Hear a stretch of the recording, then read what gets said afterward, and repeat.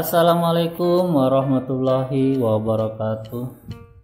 Di video kali ini saya akan mereview reel overhead merek Marin KZ200L produk Kenzi Oke kawan-kawan disimak videonya sampai habis. Jangan lupa di like dan subscribe.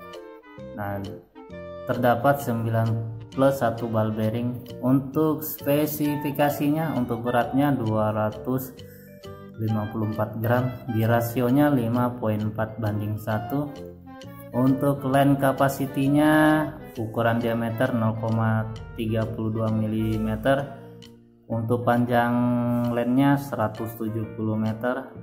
0,35 mm ukuran lainnya sepanjangnya sekitar 145 meter dan 0,38 mm ukuran panjang lainnya sekitar 120 meter yang muat di spool.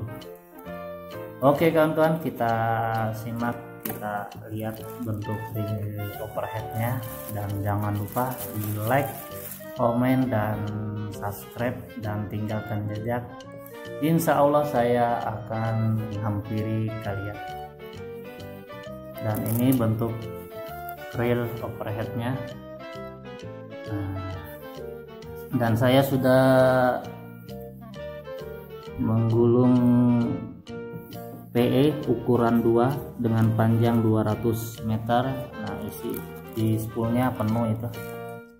Ini terdapat juga oil BX308 strip D 1 kali 5 ml dan juga terdapat kunci untuk pembuka handlenya.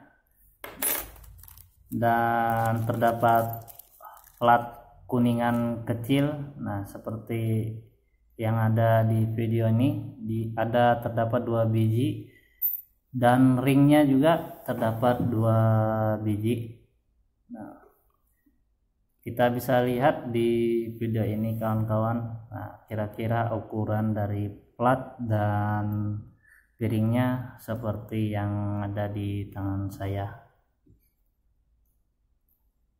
Harga dari reel ini sekitar 475.000 dan kos kirimnya ke wilayah Kota Bontang 50.000. Nah, nanti saya akan menulis di di deskripsi nama tokonya. Nah, di sini juga terdapat buku manual atau spare part list. Nah, di bagian reel overhead ini terdapat 86 komponen. Nah, di sini sudah tertera nah, bagian-bagiannya dan namanya ini ada 86 komponen di sini menggunakan bahasa Inggris kita bisa simak kawan-kawan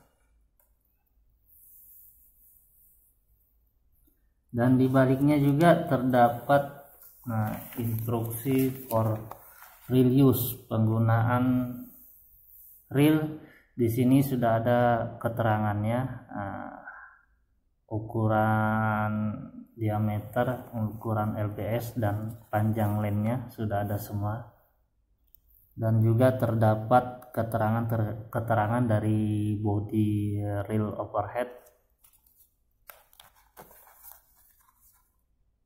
Oke kawan-kawan disimak videonya. Dan jangan lupa di like dan di subscribe.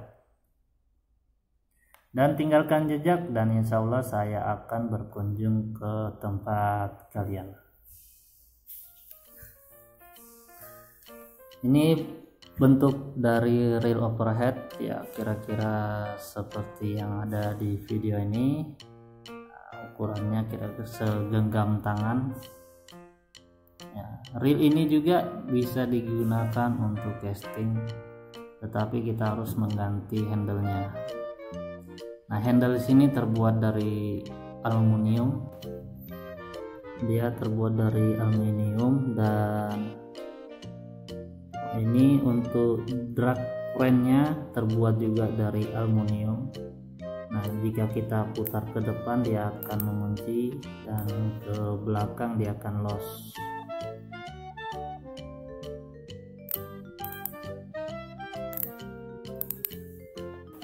nah yang saya tunjuk ini spool drag knob.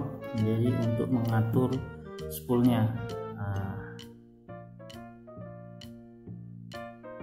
di terbuat juga dari bahan aluminium dan ini yang hitam ini casting bottomnya tombol casting tombol castingnya terbuat dari bahan plastik padat. Jika kita tekan dia akan keluar lainnya loss dan kita putar dia akan kita putar handle dia akan kembali otomatis. Nah di bagian covernya cover body terdapat keterangan 9 plus 1 ball bearing dan gear rasio 5.4 banding 1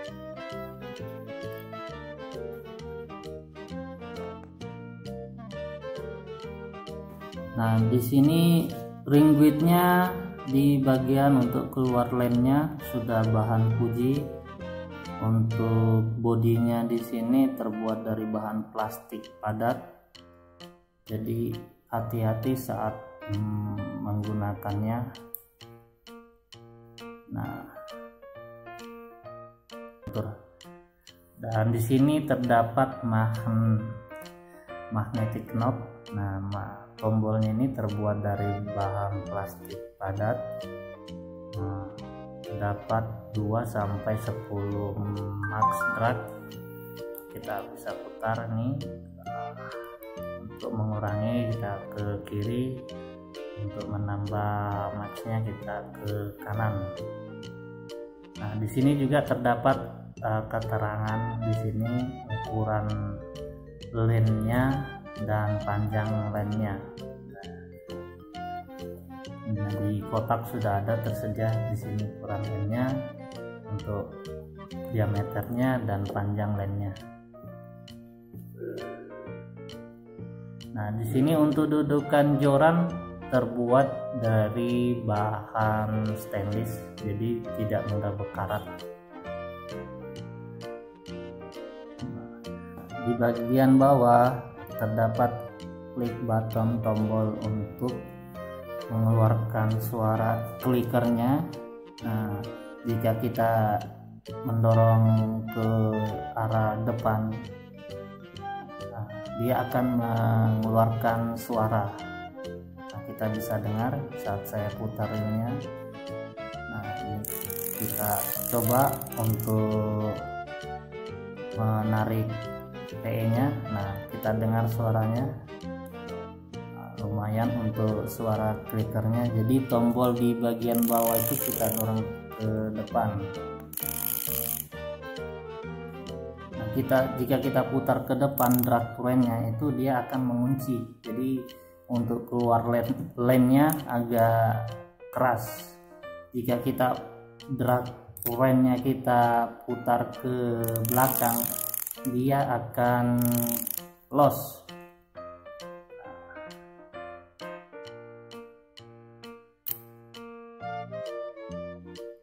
sedangkan yang dibawa klik buttonnya kita dorong ke bagian belakang. Dia tidak akan mengeluarkan suara clicker. Nah, kita bisa coba. Nah, dia tidak akan mengeluarkan suara. Eh, jika kita mendorong ke bagian belakang. Nah, untuk bahan di bagian bawah klik buttonnya terbuat juga dari bahan plastik padat Oke kawan-kawan terima kasih sudah menonton video saya. Dan jangan lupa di like and subscribe. Semoga bermanfaat. Dan tinggalkan jejak. Insya Allah saya akan membalas kunjungan kalian. Terima kasih. Wassalamualaikum warahmatullahi wabarakatuh. Jangan lupa ngopi dulu kawan-kawan See you.